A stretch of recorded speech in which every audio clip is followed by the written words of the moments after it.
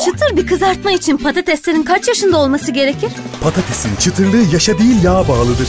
Yudum kızartma ustası kullanın, patatesleriniz çıtır çıtır olsun. E hadi, afiyet olsun.